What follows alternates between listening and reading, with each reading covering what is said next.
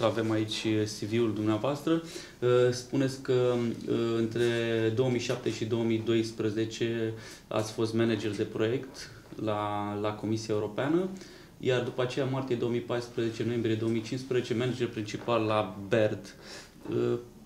Uh, ce s-a întâmplat în perioada aceasta de un an și jumătate, da, da. Care, care nu figurează în, am înțeles. în CV? Uh, am lucrat 14 ani la Comisia Europeană, din 99 până în 2013, la începutul 2013, și din care 6 la Bruxelles, uh, după care m-am întors acasă uh, și uh, din motive că am devenit bunicuță și mi-am dorit foarte mult să stau și să am grijă de și să văd nepoțica zi de zi, deci nu puteam să stau departe de ea.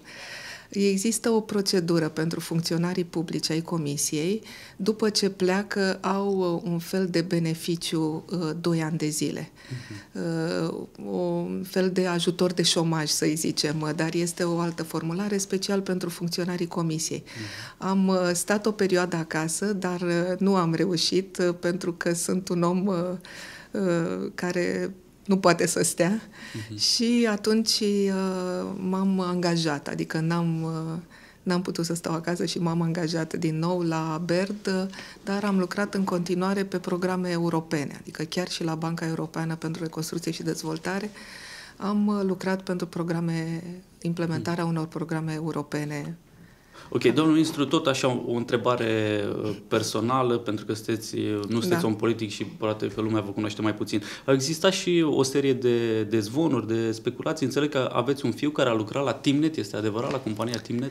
Uh, băiatul meu are, este inginer electronist, a lucrat la mai multe companii, Oracle, Microsoft, într-adevăr, a lucrat la Timnet. A fost Acum, uh, uh, domnul Florin Răducu. Florin Răducu este băiatul meu. Și, a fost account uh, manager? sau? Este, este account manager. La da, Timnet? La Timnet. Deci o poziție din 700 de oameni care lucrează la Timnet, a lucrat o perioadă și acolo. Acum cred că are firma lui și uh, colaborează cu mai multe firme din domeniul IT-ului. Nu mai lucrează la Timnet? Nu mai lucrează, Am da, nu mai lucrează la Timnet, uh, cred că.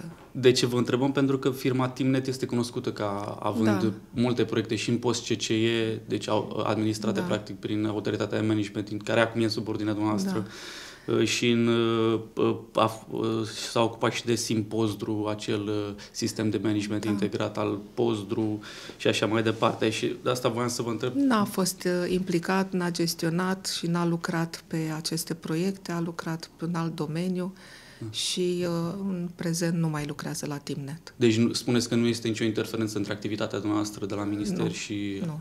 a fiului? Nu. Okay. Aici noi avem 15.000 de firme care ministerul are uh, colaborări.